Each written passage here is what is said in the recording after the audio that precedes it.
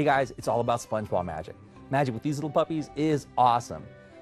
We're going to give you everything you need to know to get started in SpongeBall magic. We'll teach you some really cool vanishes, some cool reappearances. We'll teach you how to take one ball, split it into two balls. We'll teach you to make them disappear, reappear, whole routines, and best of all, it's easy. Every move is broken down for you. It's easy to learn. You'll be doing SpongeBall magic just minutes after you watch this DVD. Buy this DVD today by the best magic makers.